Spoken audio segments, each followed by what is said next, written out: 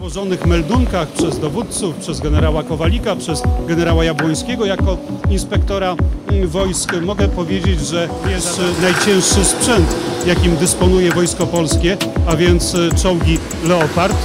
Pokonały 770 kilometrów, w ten sposób wspierając Polską Straż Graniczną, na tym, żeby zapewnić bezpieczeństwo na naszej wschodniej granicy.